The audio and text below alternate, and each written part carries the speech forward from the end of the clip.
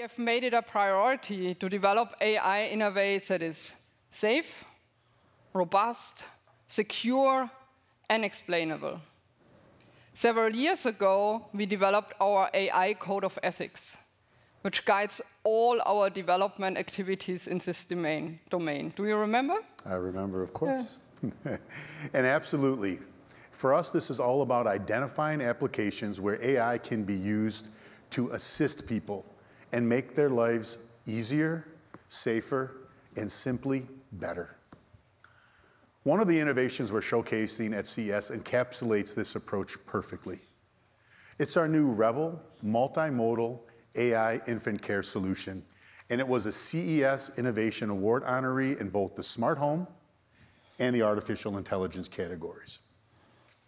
All of you parents out there, like myself, um, know how much time and energy and uncertainty are involved in caring for a little one. This is where technology can help pick up the slack.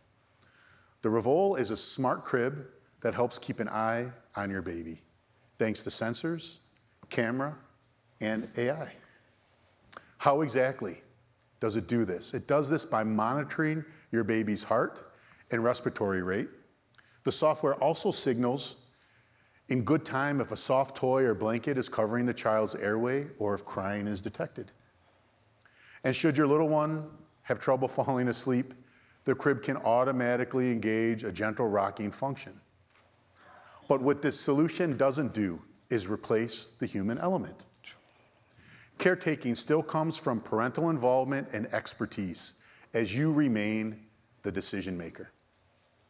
With the Revol, all data, is trans all data transmitted is encrypted, of course, end to end, and stored on Bosch administered servers. While all data at rest is secured locally with individual data encryption keys. But we give you the final say whether it's even transmitted at all. Revol has an offline mode which keeps all your data within your four walls, if that's what you prefer.